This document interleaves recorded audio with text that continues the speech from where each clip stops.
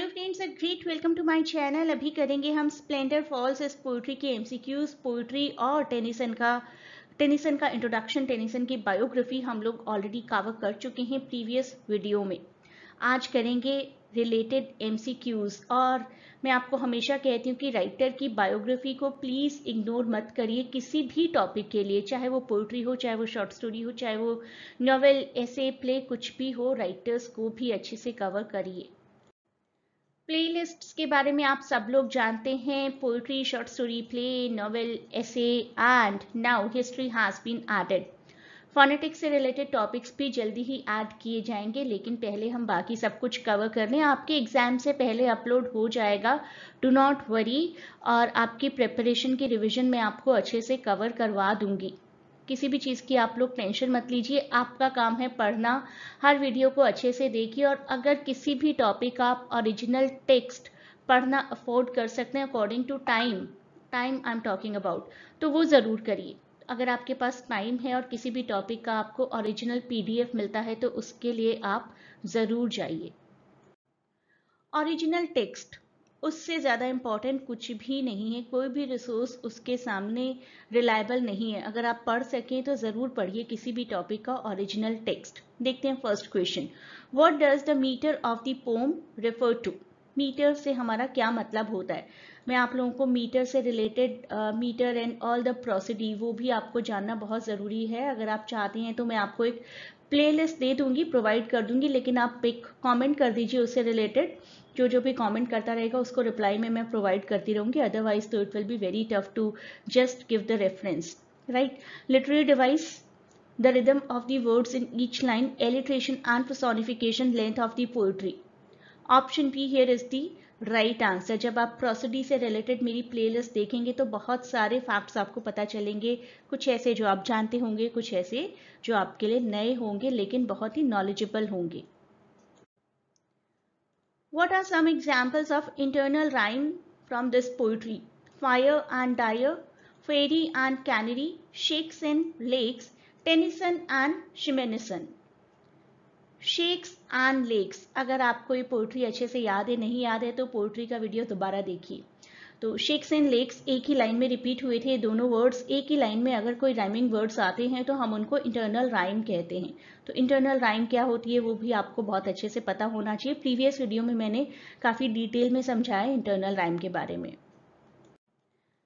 Blow bugle blow set the wild echoes flying blow bugle answer echoes dying dying dying highlighted words का हमें यहाँ पर बताना है literary device is it simile is it rhyme is it hyperbole और is it alliteration correct answer here is alliteration b sound is being repeated blow bugle blow blow bugle तो b b b sound consonant sound अगर repeat होता है तो we call it alliteration Oh, that makes the next question very easy. What is alliteration? Comparison of similar objects, repetition of the same ending syllable sound, repetition of the same first consonant sound in exaggerated statement. Correct answer is option C अभी अभी हमारी बात हुई थी consonant sound अगर repeat होता है किसी भी लाइन में फ्रेज में जैसे कि Betty bought butter butter was better Betty bought better butter to make better butter better तो ब साउंड आपने देखा होगा, सुना होगा कि यहाँ पर रिपीट हुआ है। She sells sea shells on the sea shore s and sh sounds are being repeated तो इस तरीके से अगर कोई कॉन्सोनेंट रिपीट होता है we call it alliteration one more the long light shakes across the lakes. Simile, rhyme, hyperbole or alliteration. Long, light, lakes. These are the three consonant sounds being repeated so it is alliteration. Blow, bugle, blow, set the wild echoes flying. Echo. Can echo fly? No.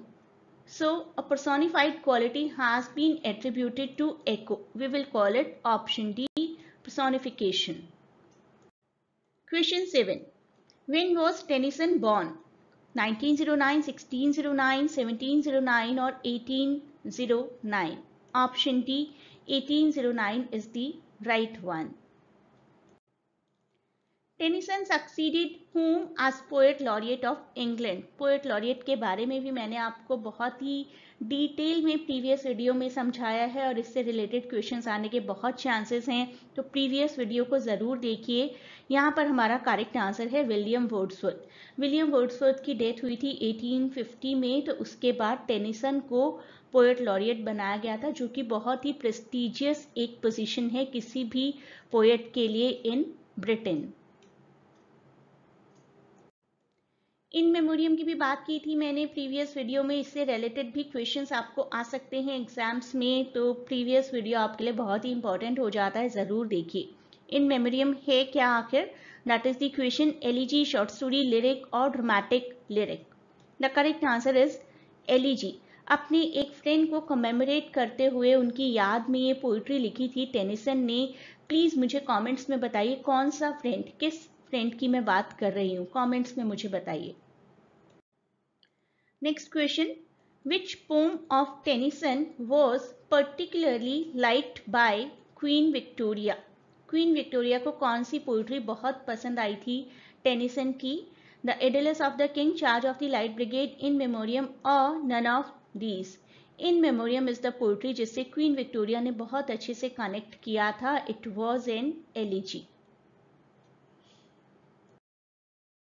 आप हमारे Telegram channel को भी join कर सकते हैं, जहाँ पर regular MCQ practice करवाई जाती है। अपनी नोट मेकिंग ज़रूर करिए। नोट मेकिंग को आप में से कई लोग अभी भी मिस कर रहे हैं और कह रहे हैं कि बहुत ज़्यादा काम हो जाता है नोट मेकिंग करने से।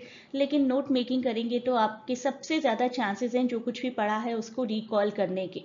तो अगर रिकॉल करना चाहते हैं एग्ज़ाम के टाइम में आप सब भी जानते हैं कि इतना कुछ पढ़ लेते हैं, इतने टॉपिक्स की उन सबकी एक अच्छी सी पुडिंग बन जाती है। तो पुडिंग को तो हम एग्ज़ाम में नहीं लिख कर आ सकते ना। अलग अलग पॉइंट्स को फैक्ट्स को रिकॉल करना पड़ेगा, वो तभी रिकॉल करेंगे जब आप अपने हाथ से लिखेंगे हर पॉइंट को। इतने सारे एमसीक्यूज आपको प्रोवाइड किए जा रहे हैं। हर टॉपिक का वीडियो है। बस आपको इतना सा काम करना है कि वीडियो देखते हुए अपने हाथ से सब कुछ लिखते जाएँ मेजर पॉइंट्स को हाईलाइट कर लें बाद में और उन्हीं को रेफर करें। Uh, one week before the exam and you will be successful for sure.